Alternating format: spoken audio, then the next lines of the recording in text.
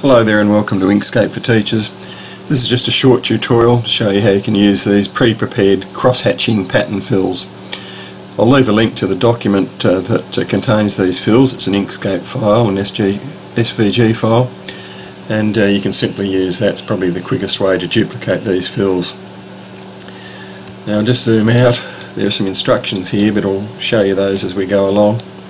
But uh, if you open up my document you can then draw what you like. If you don't if you want to operate in the one document you can just of course move all of this over off the canvas. It won't print. Then operate in here for example. If you wanted a, an ellipse I'll drag a, quite a large ellipse there. And I'll give it a, a thicker border. Let's make it a 3 mil border and make it uh, light green. Shift click. Okay now say I wanted uh, this uh, light blue cross hatching, I can click on my sample swatch there I guess you'd call it, control C and click on the destination object and control shift V. Now the reason I gave it that green border is to show you that um, the hatching is pasted in there but uh, the border is as well and these objects don't have borders so you'll have to reapply the border if you wanted to. So you can go shift, um, shift green, and then thicken it up to what you wanted to. You might have to go back to to that. So it does uh, remove the border. You have to put the border back. Okay. Uh, what else? If you wanted to do this in a new object, you could go File, New. I've already done that, so I just swap to the new object, and I can paste into there. Uh, let me just draw say a rectangle. And I can go control shift V into that and apply the cross hatching in there as well. Once it's in there in that document see this pattern? It's number 3837 you can apply that to other objects. For example you know a circle in there. You'd uh, click the pattern and it's uh, put it in there. But it's also scaled the pattern uh, to fit I think. Yeah if I enlarge that Okay, that's interesting. I thought it would be the same size as this one, but um, what you can do if you want to adjust patterns within an object is hit the node tool once it's selected and you'll see somewhere in the document these three strange icons. You can drag the cross, that moves the origin of the pattern. If I zoom in and move the cross you can see it moves the pattern within the circle but the square if I hold down control can increase the spacing back out.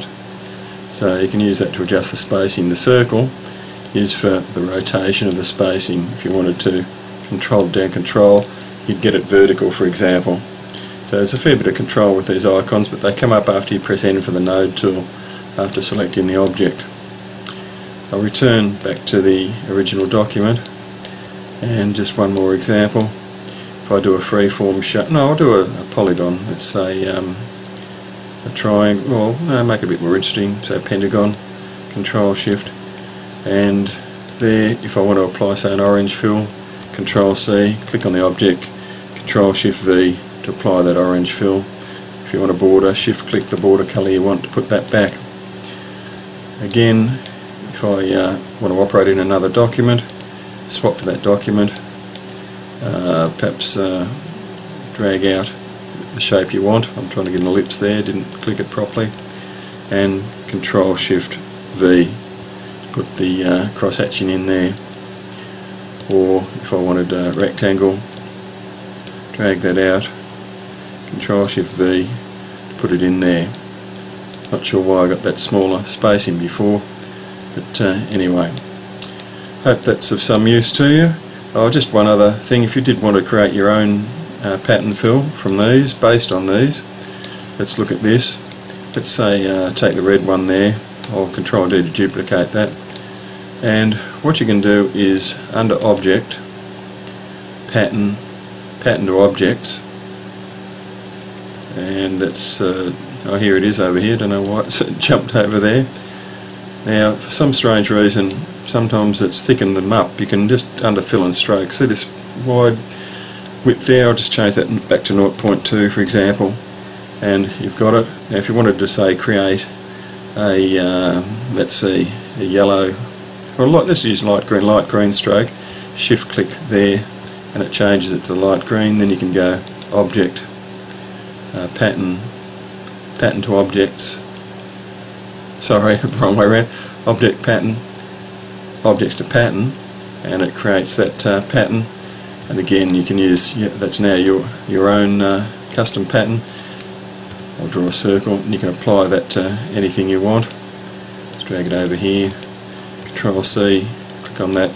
Control shift V and put in your pattern there. So uh, yeah it's just a bit confusing when you do select a, an existing pattern to modify and under object pattern uh, pattern to objects how it uh, thickens them up and jumps it around somewhere but uh, as I say you can just go back to the stroke menu and change that to, to whatever you want. And then back to you know change the colour shift to pink or whatever you wanted to and um, object pattern object to pattern again. Anyway a little bit of advanced pattern work but um, as I say you can just uh, copy the ones from the document that I'll leave a link to in the video description. Thanks as always for watching